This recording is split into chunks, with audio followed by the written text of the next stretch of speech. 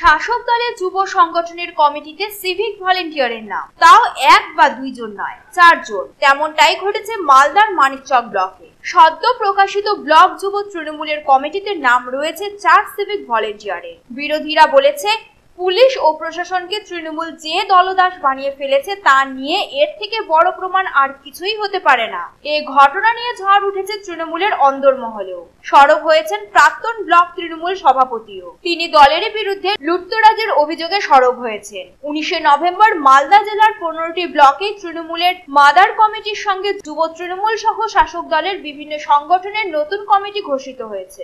Manikchak block যুব তৃণমূলের কমিটির তালিকায় নাম রয়েছে চারজন মানিকচক থানার অধীনে সিভিক ভলেন্টিয়ারদের এই নিয়ে এলাকার বাসিন্দা তথা বিজেপি নেতা গৌরচন্দ্র মণ্ডল বলেন মূলের দলটা হচ্ছে সিন্ডিকেট পার্টি সিন্ডিকেট লোকদেরকে নিয়ে চলাফেরা।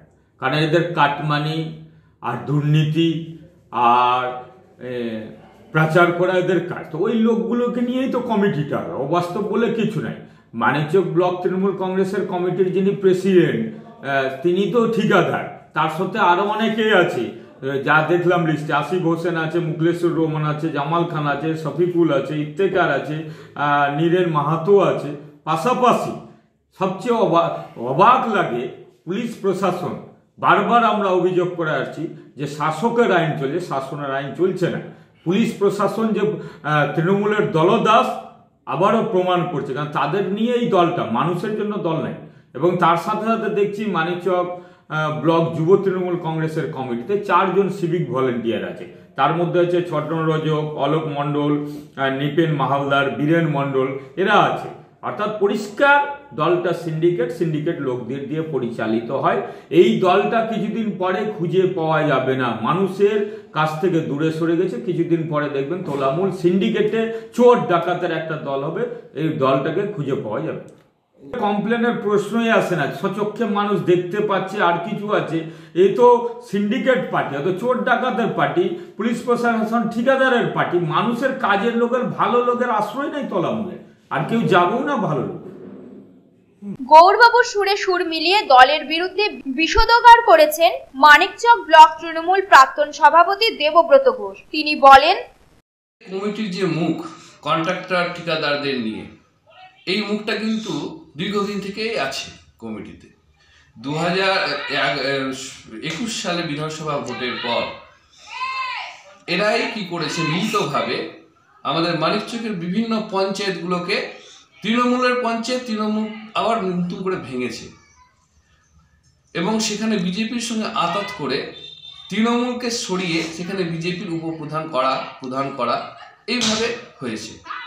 এগুলো সব অর্থের বিনিময়ে। এখান থেকে বিশাল হিউজ পরিমাণে অর্থের একটা লাভ তারা করেছে এবং তারা পঞ্চায়েত পঞ্চায়েত সমিতির যত কাজ আছে, এই কন্ট্রাক্টররা সেই কাজকে নেয় এবং সেই কাজটাকে তারা বিশাল পরিমাণে মানে কাজটা নুন মানে নিম্নমানের কাজ করে বিশাল পরিমাণে আয় করে। সুতরাং এই কমিটিটা যে তৃণমূলের কমিটিটা হয়েছে, এই কমিটি দ্বারা একমাত্র লুটরাজ চলছে আমাদের এই মানিক চকে এই এই যে কমিটিটা বা এই তৃণমূল দলটা বর্তমানে, ঠিক আছে, এই দলটা একটা লুটরাজ সংস্থা হিসাবে পরিণত হয়ে গেছে। যেখান থেকে শুধুমাত্র আর্ন, কীভাবে অর্থ লুট করে নিজে কীভাবে অর্থ আর্ন করা যায়, এই ভাব, এটার একটা কমিটি তৈরি হয়েছে। এটা স্বচ্ছ ভাবমূর্তি ভোটের মানুষের জন্য কমিটি তৈরি হয়নি। এই, তাই আমি এই কমিটিকে লুটরাজ কমিটি নাম দিয়েছি। এবং এই মুখগুলোকে মানুষ আগেই ছুঁড়ে ফেলে দিয়েছে।